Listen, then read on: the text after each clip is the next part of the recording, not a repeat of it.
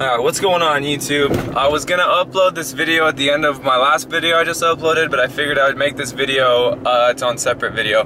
What you guys are gonna see here is me and Chase doing the Ice Bucket Challenge for ALS awareness. Um, for those of you who haven't done it yet, I really, really encourage you to do it. It's for a great cause. ALS is scary as hell. If you guys don't know what it is, research it. Basically, your body just atrophies from the inside out, and you just slowly lose use of everything to the extent of you not even be able to breathe on your own. So really trying to raise awareness about this topic. I really hope everybody donates. So you're gonna see in this video, me and Chase actually just got called out by two of our members at the gym. So we will be filming it right now. And since our our gym is called 212, well, I'll let you guys watch the video. So, photographer, you're being videographed.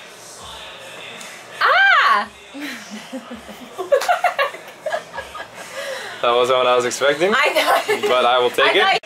All right, I want to thank Jennifer Szynski for nominating me. I want to thank Brian Kelly for nominating me. My name's Nick, that's Chase. We've each donated $212 in, in honor of our 212 degree gym. This is 212 pounds on our back, and we want to nominate every single one of our gym members to donate to us. We're going to have a jar in our gym accepting donations for a 212 degree donation jar. And here we go.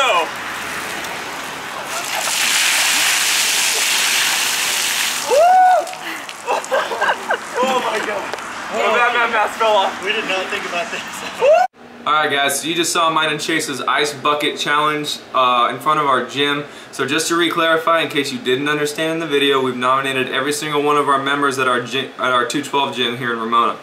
So if you're a member at 212, we want to see you do the Ice Bucket Challenge or donate money to us. We're going to be having a jar at our front desk all the way up until the end of September. All the money that we, um, we fundraise, we're going to be donating to the ALS Awareness Fund.